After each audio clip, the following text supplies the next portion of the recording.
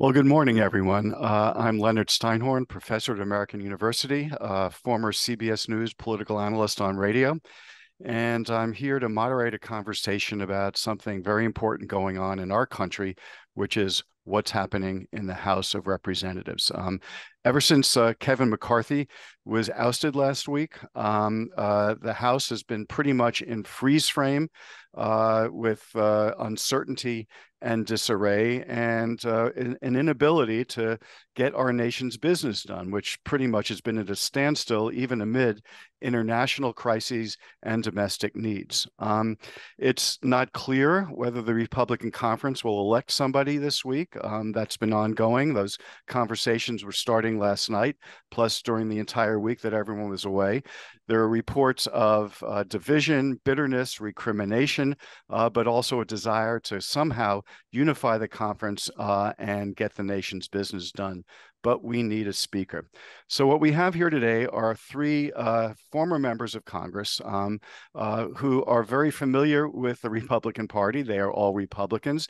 Usually we have bipartisan uh, panels uh, at FMC, but in this particular case, we need insight into the workings of the Republican Conference and the state of the Republican Party. And all three offer just insightful and uh, intelligent perspectives. Um, here we have Barbara Comstock, who's a board member of FMC uh, and the incoming president um, uh, of the former Members of Congress Association. She represented Virginia from 2015 to 2019, uh, and before that, she served in the Virginia House of Delegates. Um, she's seen almost everything in Washington, D.C. And, and, in politics. She's worked at the Justice Department as a congressional staffer for presidential campaigns, and she frequently comments on CNN and other outlets. Charles Boustany is a board member and past president of FMC. Uh, he represented Louisiana in the House of Representatives from 2005 to 2017, served on the Ways and Means Committees, and was chair of the subcommittees on tax policy, oversight, and human resources. Uh, before Congress, uh, he was a cardiovascular surgeon and given the state of Congress these days, perhaps what it needs is a medical diagnosis. Um, Dave Trott uh, is a sustaining member of FMC uh, who represented Michigan from 2015 to 2019. He served on the Financial Services, Foreign Affairs, and Judiciary Committees. He's an attorney with lots of interests, among them real estate, sports, and entertainment. Personally, I had the privilege of interviewing him for FMC's 2021 Congress to Crossroads publication, for which he added valuable insights into the workings of Congress and also its shortcomings. So let us begin. We're first half, we're going to have a conversation, uh, and then we're going to open it up to a question. So please feel free to post, post questions in the chat if there's an angle or perspective you'd like to be discussed. Also, let me note that we will be on the record. Um, uh, so let's begin, uh, because there's no better way uh, to understand Congress than to gain the insight of people who have been there. Um, question one, and obviously top of mind for everybody. Um, uh, will there be a Speaker of the House this week? Will it be Jim Jordan, Steve Scalise, or even Kevin McCarthy, who is keeping the door open, or someone we haven't even mentioned here? So, uh, Barbara, you want to kick this off? Wow. Well, it certainly uh, was a tumultuous week last week, and then the weekend brought even more uh, sobering uh, news. So uh, last night's meeting where you had, um, uh, you know, all the Republican members go into a meeting last night to talk about, you know, where they were on things uh, was not encouraging because they really did not seem to have a sense of urgency. They uh, kind of came out saying, no, may not, we may not get somebody this week. We're, we're not really near. Um, you, nobody seems to have the votes. Um, they're not near closure. They're still talking about whether they're going to change the rules on that motion to vacate. Um, and yes, indeed, there were, I think, three members that said they will vote for nobody but Kevin McCarthy. So there is that talk of uh, bringing Kevin McCarthy back. And despite the urgency of just the horrendous terrorism we're seeing in Israel, and certainly on the Senate side, you saw you know, a very powerful column from Mitch McConnell saying, you know, we needed, you know, immediacy there to, you know, put together a package for aid to Israel, Ukraine, and um, you know increasing the defense budget, something that I think there's broad support, uh, bipartisan, you know, in the Senate, and really brought bipartisan support in the House. Yet there's this you know impasse with really some very unserious people that are a minority of the Republican caucus, but though they are, you know, holding up things. So once again, we are at an impasse with these, you know, not serious people who want to hold things up. So it is troubling. And what will break that impasse, I don't know. You would have thought something like this weekend, given so many of these members have been to Israel. Um, they have seen these things up close. You would have thought that urgency would have maybe, you know, even with some of these eight, but it doesn't seem that it's done it has done that, which is very, very discouraging. So, Charles, these unserious people that Barbara uh, mentions uh, hold a balance of power right now. Um, I mean, what is the chance that you will get the serious people to be able to have a voice and to be able to elect somebody this week? And will it be Jim Jordan or Steve Scalise or whomever? Well, you know, they just got back into town, and solving this cannot be done remotely. Uh, the members have to get back in town. They have to huddle. Groups have to get together, talk. Um, there's a lot of venting that has to go on. So I'm, I, I, you know, I'm not privy to what happened last night in the meeting, but having been in a lot of those over the course of time, um, I'm sure there was a lot of venting that was going on within the meeting and also afterwards. So I agree with Barbara. Things aren't going to get solved this week. Um, I don't think Scalise uh, or Jordan have the votes at this stage, and, and I think they're, they're they're both pretty far away from being able to consolidate that kind of support. So it's it's still an open situation. What has really changed in the House over the years that brought us to this um, obviously, the partisanship, the division, the zero sum mentality, uh, which uh, manifests now within that small group that's been completely disruptive. Um, and this is a problem because the whole the whole place works on consensus and and building consensus around legislation, and that's why you're seeing that kind of dysfunction. But let me just say that I think they're a long ways away. Uh, they're going to have to work through this week, vent, huddle, talk, um, and even for the you know for the, those of us who've been around for a while and watched this kind of thing, it's still a very uncertain game. Lastly, I would say we have now moved beyond the point where uh, a major emergency or a major foreign policy challenge will unify the, the House. They are focused solely on what they, you know, what they want there's this sort of an inward dynamic there that um, it's it's it's kind of a being self-centered. In other words, everything revolves around the house and everything can wait. And that is a very dangerous place to be right now. So Charles, you're almost saying that the national and the public interests are, you know, being held in a standstill because of the internal dynamics of the House. Um, and I remember, Dave, when you and I talked a couple years ago, for the Congress of the Crossroads um, publication. Um, you did have a lot of insights into the dysfunction of the House um, and what's wrong with it. So the real issue right now is uh, how do how does the critical mass of the let's say the people that Barbara might call the serious ones, how do they actually come together and elect somebody? Is that possible given the culture of the House right now? Uh, I don't think it is. Um, you know, I, I think uh, we need to elect someone uh, who's more moderate as speaker, who can bring uh, bipartisan solutions to the floor, and that's not going to happen. And so, I think looking forward, uh, the, the, governance is going to continue to be challenged in the House, no matter who the speaker is. Uh, I think there's a chance that they will elect a speaker this week because, you know, in the last few days, the world has changed. The events in the Middle East are profound and, and significant. And I think there's tremendous pressure on the Republican conference to, to elect someone sooner than later. And so it's possible they could settle on a slate where Scalise is the speaker and Jordan is the majority leader. And maybe that's a, a resolution that gives people uh, uh, cover to save face. I think it's very unlikely that any of the eight people that voted to remove McCarthy will back down. Uh, that would look terrible for them and put McCarthy back in place. That's not going to happen. Or you could see the conference pivot and elect someone like Tom Cole, who's widely respected and, and great has great uh, you know uh, credibility in the House. But uh, unless they elect someone like Barbara, for example, as Speaker, uh, the likelihood of, of, the place becoming a high functioning body anytime soon is is remote at best. So, do you think that there is a decent chance that there could be a, a Scalise Jordan team uh, coming together? And do you think that would be able to get those 217, 218 votes necessary?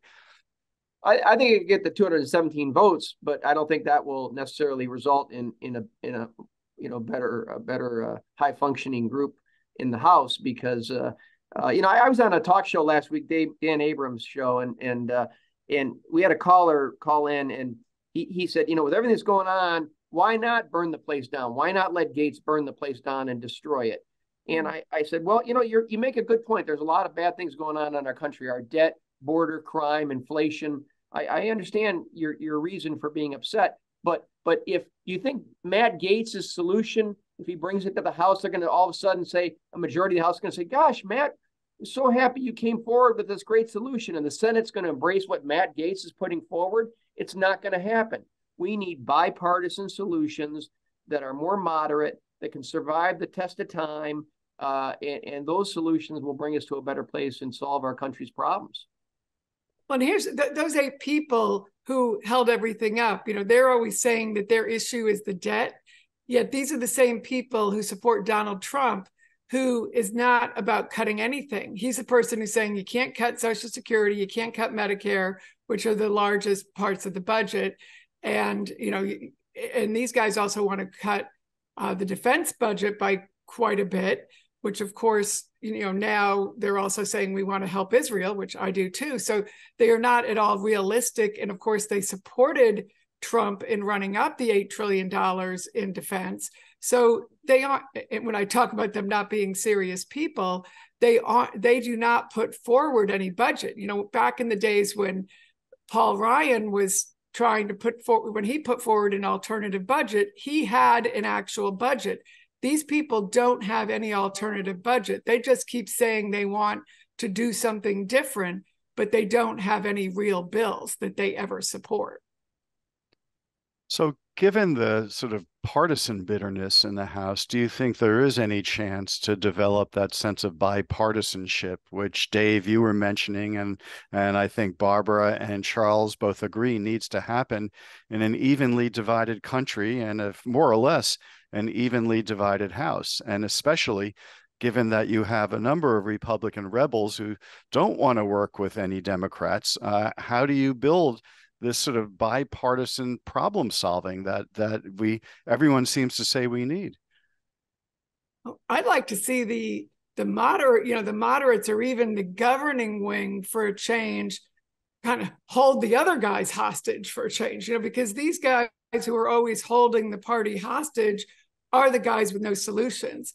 Um, you know, they they don't have a plan, which is why we are now here with no speaker you know, the guys who do have a plan say the people who want to, um, they want to have money for Israel, they want money for Ukraine, and they want to have a larger defense budget because we are in a very dangerous situation now. And they want to keep the government open, which in mid November, we will not have the government open if we don't come to a solution. If they say, hey, we're, we're going to take a walk if you don't do this, and we can walk over with the Democrats and deal with them and deal with the Senate if you guys don't want to play. And there's a guy named Hakeem Jeffries who might not mind working with us. And since we're in these districts, there's 18 of us. So it just takes maybe six of them, a third of them, to say, we're going to be goners if we have a Speaker Jordan. You know, if you're uh, those guys in New York and California, if it's Speaker Jordan, they're gone anyway. So they can say, we we're going to go work with him because we're dead meat if we have you guys running the show anyway. So why don't we go over and work with them and and we'll do it, you know? And you want to try us because we just we can walk out and do it. I just wish for once because I certainly know if we, we you know, it, because these guys are running them off a cliff. And and more importantly, they are endangering the world now. I mean, how you can look, I mean, one of one of the eight, I won't name him because he's such an unserious person, but this is the person, you know, when he sees a shooting in his own state, in his own area, he just says, Yeah, there's nothing we can do. Doesn't even offer, he just says, Yeah, no, there's nothing we can do. Sees the Israel situation. No, there's no urgency. No, we're not going to do anything different. Yeah, we're going to take our time on speaker you know, this is just not a serious person. Is not somebody who ever offers anything, but loves to go on TV every day of the week and talk about daggum this and that and, and think, you know, and this is you just know, Barbara, I, I, think there's a there's a tremendous opportunity now uh, to, to do this crossover with serious Republicans who want to govern working with Democrats.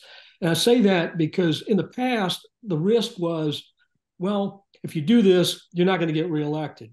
Well, they're not going to get reelected anyway. No, um, under these Jordan can't raise money either. They just deposed Kevin right. McCarthy. They're not going to have any. The fundraising is being killed by Donald Trump too. By the way, who was dancing at a fundraiser last night like a fool. You know, when these serious things are going on and talking about whales and lobsters. Um, you know, so this is the state of the party. But but isn't there also some anger at the Democrats uh, for not sort of going and voting for Kevin McCarthy uh, at the last minute? I mean, obviously the Democrats felt betrayed by the former speaker and uh, sensed that he sort of tried to blame them for the government near government shutdown. This our, but this is our civil war. This, this is, is your yeah, civil war. Yeah, okay, I, I agree. Dave, you know, yeah. and, you know the, the the the solution that Barbara laid out would work well. I think it's unlikely still that that will will play out just because people will be worried about the the, the reelection chances. What we really need is a president who can can unite the country and really operate in a bipartisan fashion. Uh, certainly, Donald Trump has no ability to do that. Uh, Joe Biden, I think, is a centrist at heart, but he, his party won't let him do it. But if we had a president that could uh, put forward moderate solutions and and cobble together uh, coalitions that can pass things on a bipartisan fashion, that could be a game changer and could bring Congress along with him or her. Uh, you know, it's very interesting to see yesterday Robert Kennedy Jr. announced he's running as an independent. I mean, there may be some pieces in play in 24 and most certainly probably by 28 that will will redefine politics in our country and give the moderates and the independents more of a voice in how things are governed. But do you all think the moderates uh, in the Republican Party right now, given the urgency of all the issues we face, have the backbone, the will, and the ability to say, you know, to basically be the ones to say we're going to seize power and we're going to be the ones to determine, uh, you know, how all of this works. I mean, for time after time, it's always seemed like there's been chatter about that, but they've always gone back, uh, you know, to the tribe, to the camp. Um, you know, do you think they have that willpower uh, to go along with Barbara's solution in the short term? Dave, yes or no? No. No. Charles?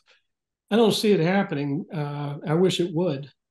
I, I wish that you know it's like if if you're gonna if you're gonna go down anyway, you might as well go down trying to save the country instead of just uh, going down with a with a team that's uh, hurting the country. But Lenny, Lenny, you hit on something a moment ago uh, when you raised Hakeem Jeffries and maintaining democratic discipline to say no, we're not going to do a deal with you guys.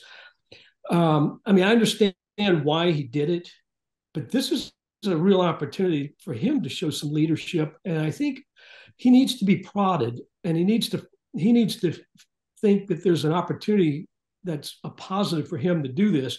And the way to do that would be, in my view, if a core group of Republican moderates who want to govern went to uh, uh, their counterparts, Democrats, and said, We want to do this. Let's formulate some ideas that we think have to be uh, dealt with legislatively now.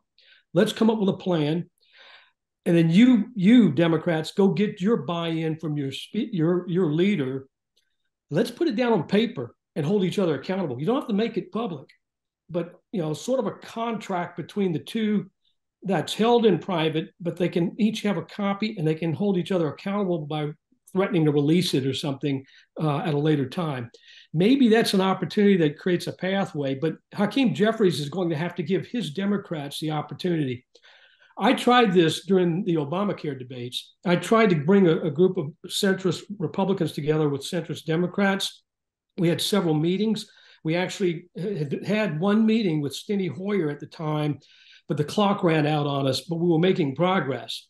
And that's the, the approach I used. I think this could work, but it's going to take courage. It's going to take initiative, and but it also requires Hakeem Jeffries to put aside the zero sum, sum mentality.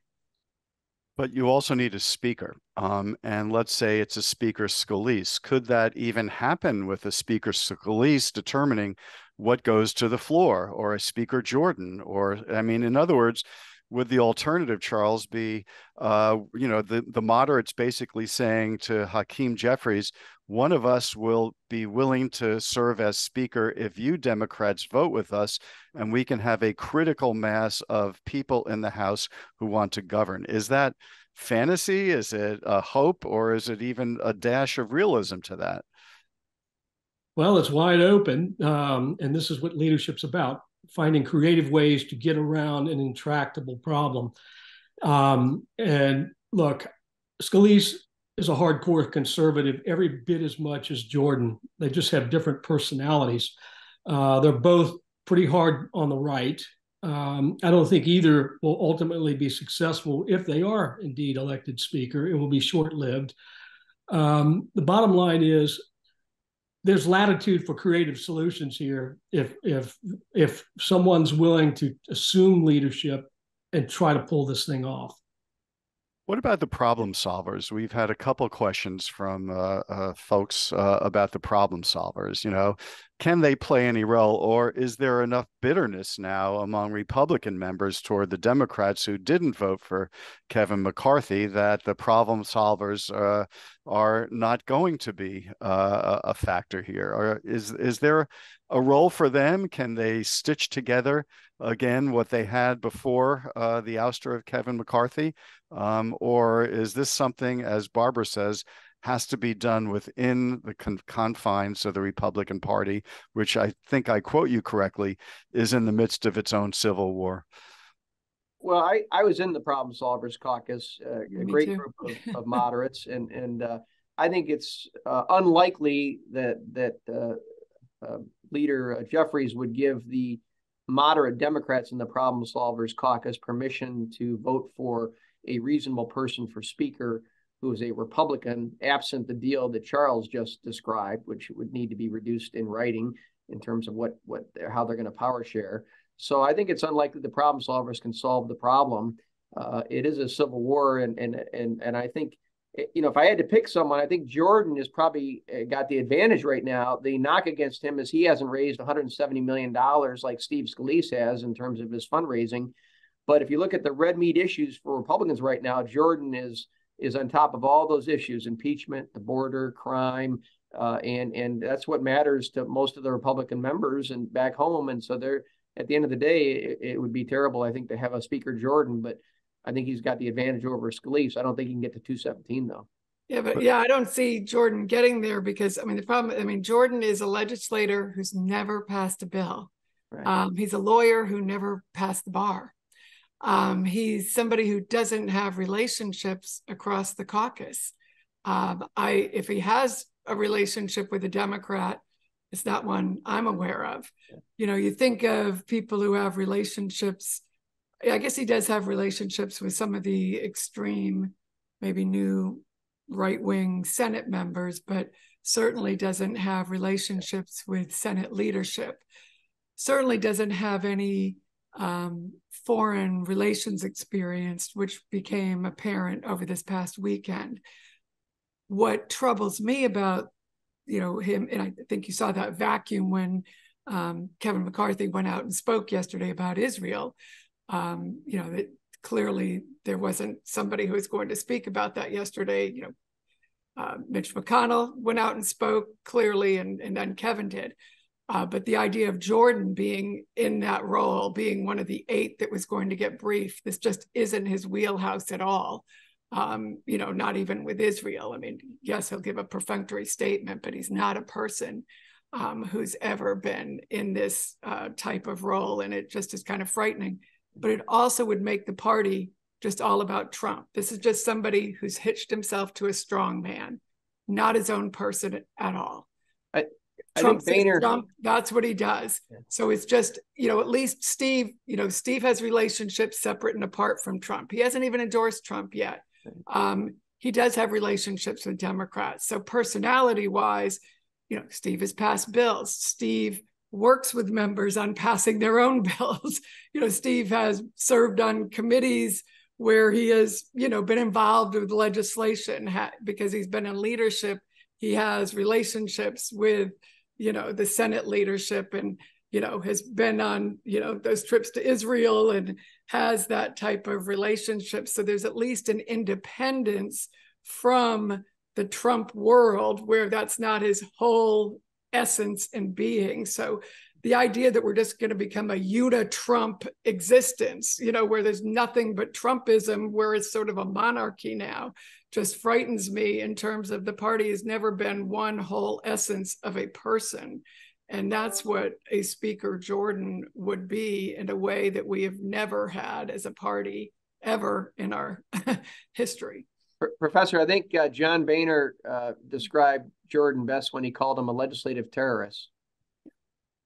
Well, so let's pass legislation. So, so let's I say he never voted for a budget. Maybe he voted. I guess maybe he voted for one of these CRs that slashed funding down to nothing. But um, it's been rare that he's uh, ever been part of a solution. It's always been taking things down.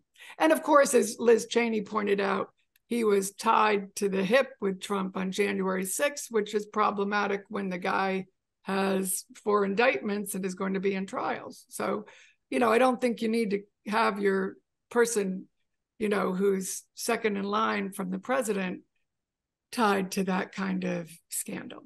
So, but let's say Dave is correct. Aside from that, Let, us say Dave is correct that Jim Jordan may have a fairly good chance to emerge uh, uh, to get all the votes.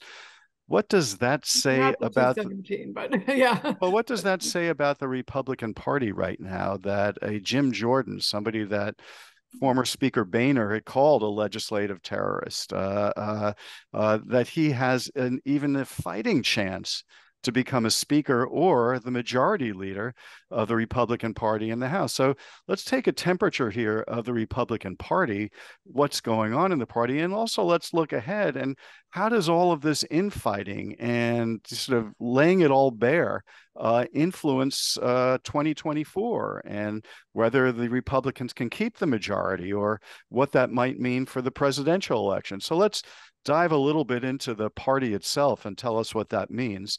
Uh, and then we'll get back uh, to the actual speaker vote because I'm very curious uh, about how long you all think this is going to take. But first, Republican Party, what's going on? I see people shaking their heads. I mean, well, I think it's a death wish. You know, it's been on a death wish since Trump came on the scene. You know, last year was, you know, a disaster really for the party when it should have been a red wave, it was barely a ripple. And that's been the story, you know. And so instead of learning the lesson last year, they're doubling down. So I, I think it certainly would um, mean more of the same. I think you know, at some point, uh, the American public is going to become very, very uh, disillusioned and angry about the inability to govern. And we've seen this in the past where dysfunction, political dysfunction, uh, dysfunction in Washington actually actually polled higher than any other issue, including the economy at one point. Um, as these these problems mount, uh, the inability of the Republican Party to govern, the lack of will to govern in a in a sound way is going to hurt the party, and it is, I believe, in a death spiral unless uh, that dynamic changes.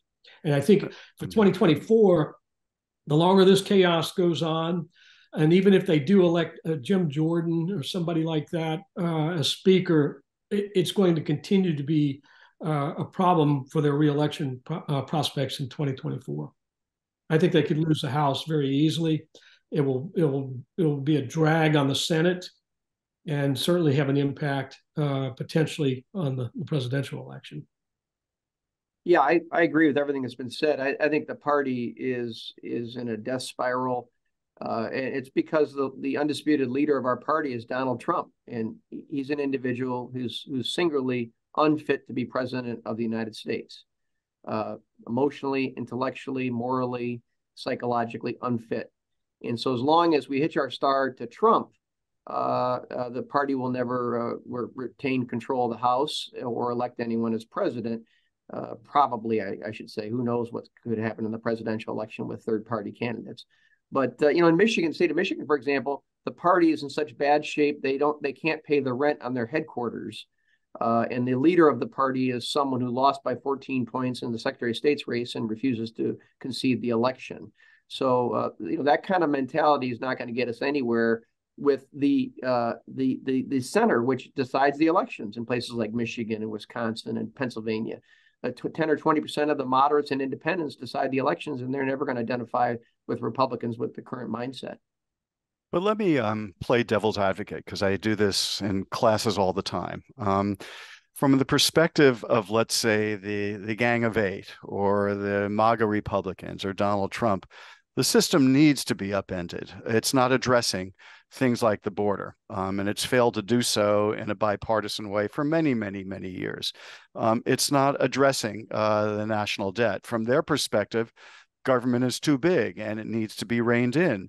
Um, that we need to deal with issues like crime and that we need to be able to uh, sort of reorient our economic priorities to address the needs of working class Americans. Um, so, from their perspective, um, the system has not been working as is, and that all they're trying to do is to upend the system. And uh, as Donald Trump said in 2015 and 2016, is drain the swamp from the people who have an outsized say in our politics. So, you know, is there any, you know, I mean, are they potentially tapping into a sentiment of frustration in the country um, that a lot of Republicans just aren't hearing?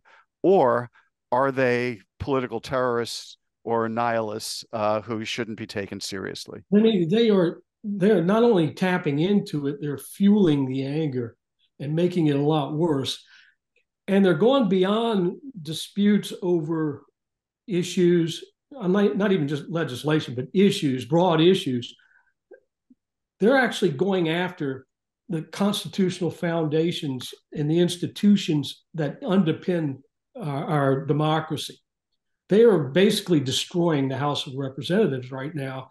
Um, they would do it to the Senate if they could. And the problem is the, that is extremely dangerous. And it's triggered all kinds of problems within the Republican Party. Dave talked about Michigan and Louisiana. There's a, a even in Louisiana, which is hard right, there's a division between those who are really extreme hard right and those who are still unacceptably hard right. Um, and so when you're seeing that kind of, of uh, split going on within this party, the party itself is is basically not only destroying itself, it's it's destroying the constitutional foundations of our country at the same time. Uh, what they've done in calling the courts, you know, the, the judicial system into question, uh, the way they've stacked the courts in some instances, the way they've they've they've certainly undermined the House of Representatives as an institution. This is extremely dangerous, and it's worrisome. And I I, I wish I had a better answer as to how to get out of this dilemma. Well, and, and but, like uh, on the on the border, you certainly you know the whole the issue of you know, working with Israel on Israel and Ukraine. The border, I think, is, is part of that deal too. I think Mitch McConnell and talking about that. So there are compromises to be had here, as well as you know, cutting you know budgets on other things. It's just they won't compromise. And we haven't even talked, you know, when you're talking about the election denialism and the, and all the things that they have wasted their time on, and why they, when you look at last year's elections, the reason all those candidates who lost is they were looking back and not looking forward on solving the problems. They weren't talking about crime and and the border and the things that you were supposed to be focusing on. They were all talking about Donald Trump's grievances in the 2020 election and not and bathrooms or whatever crazy things they were talking about.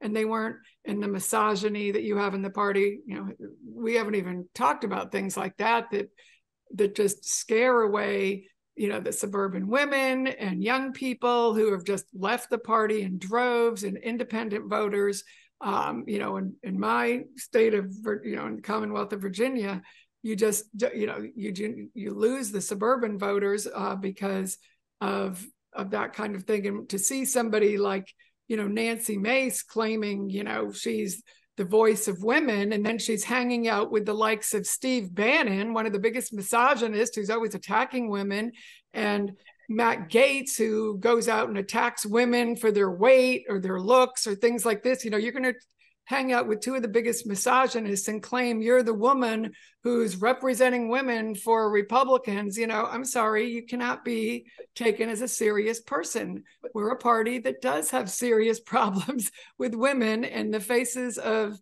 uh, the party should not be Matt Gaetz and Steve Bannon, a uh, you know, who has some convictions that is going to be going to jail soon. You know, that's not where we need to go for that you know, Professor, you know, I, I don't have any respect for the Gang of Eight and their cronies who are, at the end of the day, all of their antics are, are an effort to try and monetize off of our dysfunction. They're all raising money off of what is happening right now in Washington, which is disgraceful.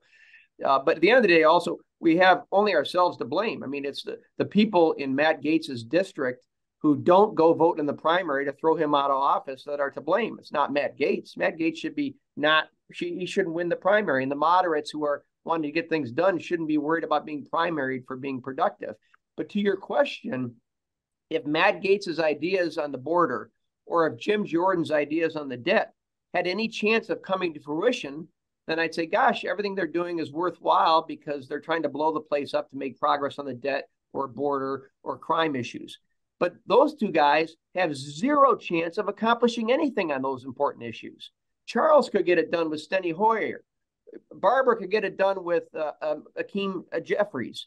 Those two guys have zero chance of getting anything done on those issues. That's why the idea of blowing it up to accomplish something is is disingenuous. So I'll ask one more They're just devil's trying to run for question. higher office. They're just getting clicks, and you know, Matt wants Gaetz wants to run for governor, which he won't be governor. Well, I'm a Florida And- resident now, so maybe maybe I'll have something to say Well- about that. well, Devil's another devil's advocate uh, question then, um, because Charles, you spoke of uh, democracy, and Barbara, um, you spoke of election denialism, and and Dave, you said that the eight really don't have any chance of getting anything done. But wasn't there a permission structure given when the majority of House Republicans voted not to accept the election of 2020, including former Speaker of the House, Kevin McCarthy?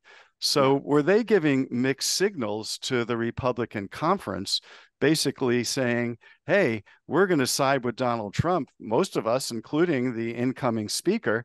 Um, and, and isn't it easy now to blame the Gang of Eight uh, and not to look at the culture of the party and say, how do you build that sense of governance that you want to be able to get things done?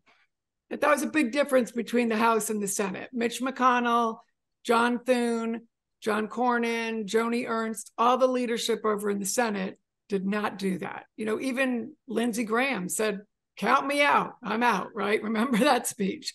So you didn't see that over in the Senate. So it was a big mistake on the House and the House leadership to go that direction.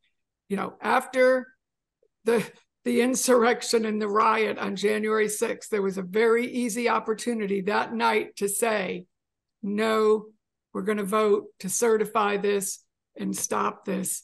And um, clearly, that uh, has been a, a big problem for the House ever since.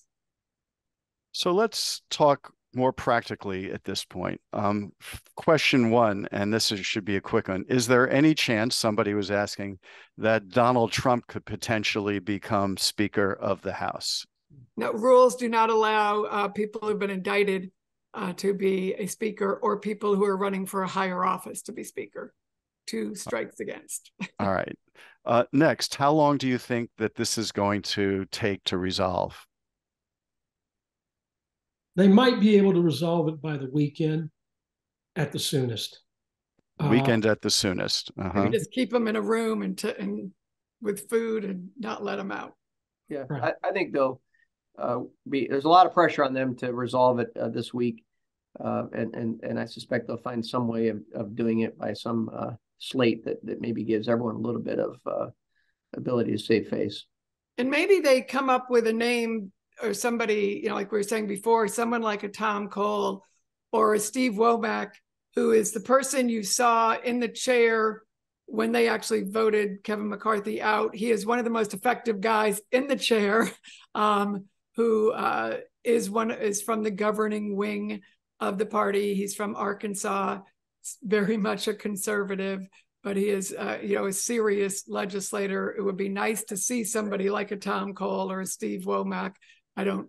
I probably shouldn't mention their names because that's probably a strike against them. But these are very much, you know, conservatives um, in uh, you know in anybody's book but these are people who could get things done and work across the caucus and it would be nice if you saw you know maybe you know some of these guys just say okay we got to have a serious person if we can't if the others can't get to 217 do we just say you know we, we got to the world's on fire we got to have somebody who knows how to hold the gavel up there. And those are two guys who've done it a lot in the chair. All right, next. Um, will there be any consequences for the group of eight? Or Patrick McHenry, who's actually the speaker pro tem. There's another one we haven't talked about. Any consequences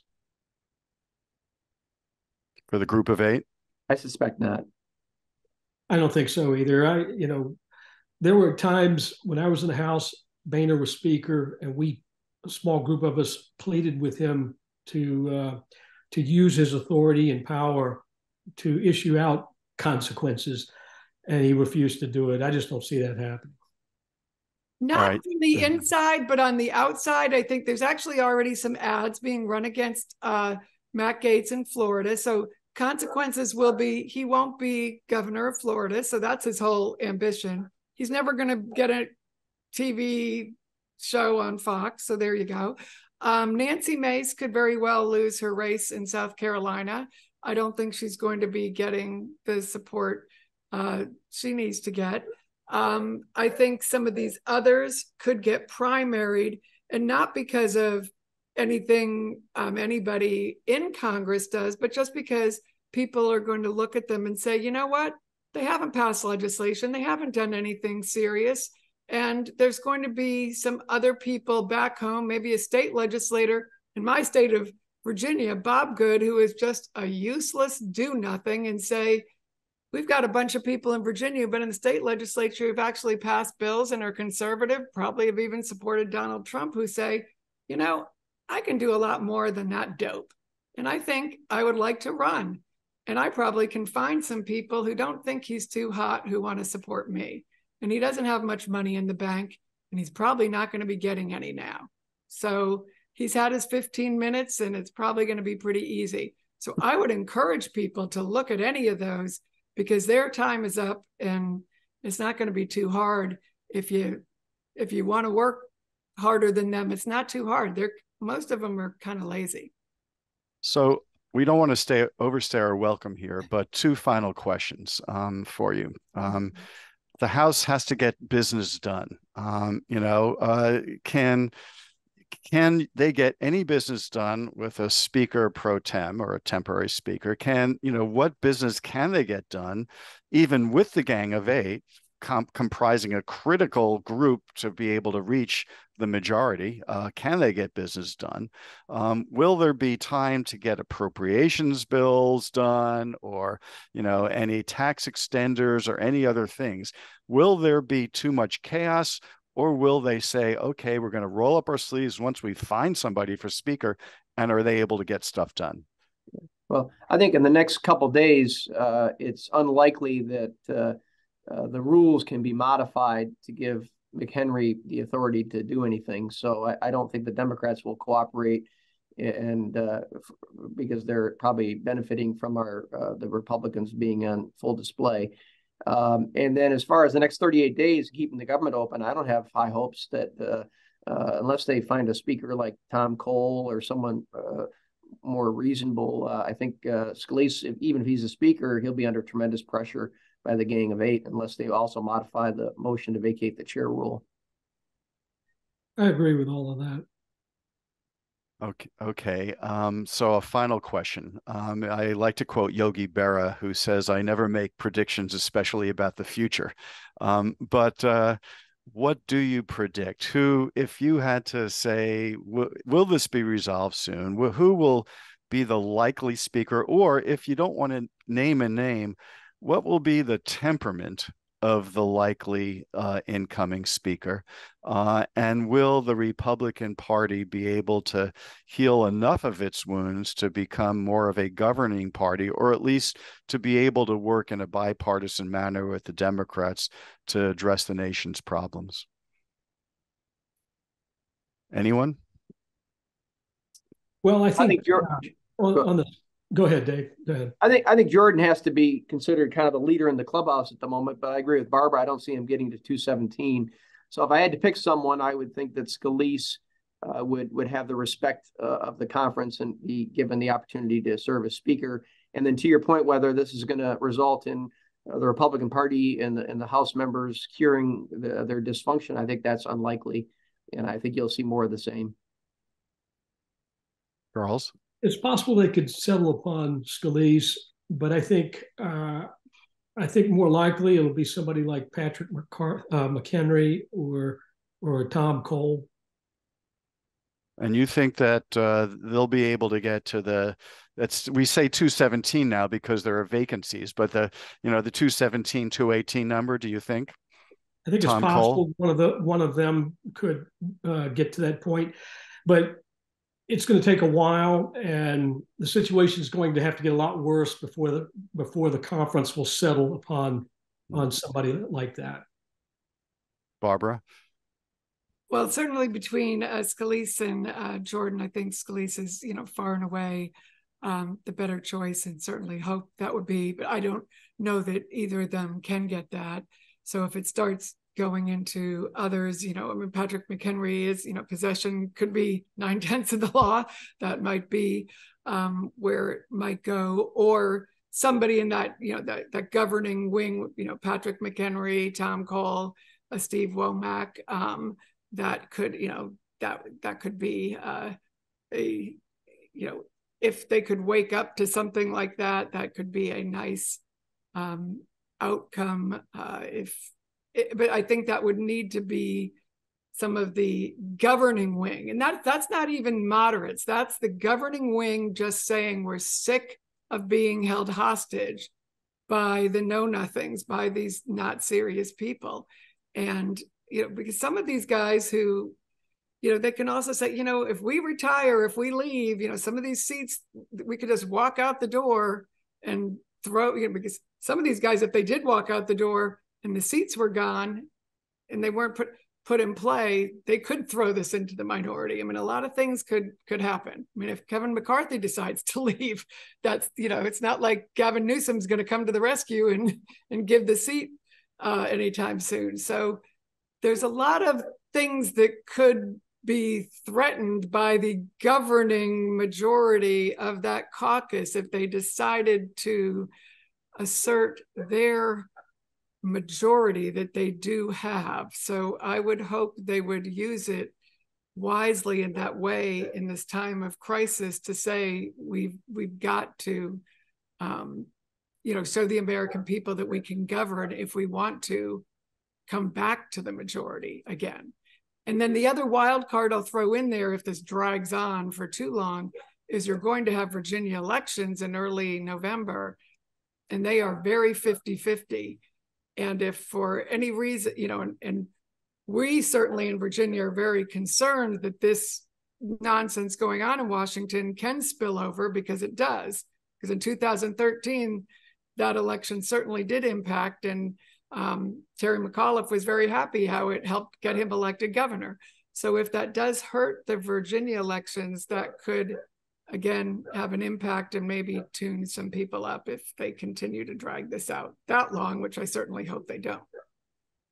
So I guess what I'm hearing from uh, all of you is, uh, is a, a, desire to sort of take the party by its lapels and say, "Wake up, wake up," and a hope that, that can happen. Yeah, um, a sense of despair that it might not happen, and a sense of resignation that it's go along and get along and see what happens and go with whatever choices you have and just maybe just maybe uh, the dysfunction won't be as bad as it's been. Um, so uh, ultimately what all three of you are saying is that uh, the republican party in the house and nationwide has a choice to make uh, and what choice it makes will impact our the party the House, uh, the Congress as a whole, 2024, and the nation at large and our ability to get things done. So a lot's riding on the Republican Party. And insofar as this speaker election is sort of a microcosm of all the dynamics and flows and currents that are roiling the, the party, um, uh, basically, uh, that's the state of America right now. So, and, and you know, one of the things, one of the things we're saying on the foreign policy front, which you're going to hear from a lot of guys, is stand up to the bullies, right? That's what we're. I mean, stand up to the terrorists, stand up to the bullies. That's what we're saying in Israel. Certainly, that's what we're saying in Ukraine. You know, on the border, we want to stand up and do the right thing. Well, stand up to the bullies in our own party. You know, here they're afraid to stand up to Trump they're afraid to stand up to the eight. They're afraid to stand up to whoever might run against them in a primary. Well, stand up for God's sake. You know, I mean, if you can't stand, you know, you got to stand up to Putin. You got to stand up to, you know, Hamas and you got to stand up in your own you know in your own district and you got to stand up for your people and so you know this is the consistent thing you've got to stand up to bullies and that's what the american people are expecting of you and it's not that hard it really isn't you know i mean you know this is kind of the problem is that appeasement is what has gotten us here, you know, certainly in the House, you know, Kevin appeased these eight and it's not been good. You know, you got to face them down or you're going to keep, it's going to keep growing this cancer. I mean, Matt Gaetz is a, you know, these, this problem is a cancer on the party. And there's a lot of good people there that are sick of this. And you've, that's what you're seeing are frustrated members, there's a lot of good legislators in there that you don't see because they're the ones who are trying to govern and they get o- overwhelmed and all you see are the guys on TV who are the, the bad guys.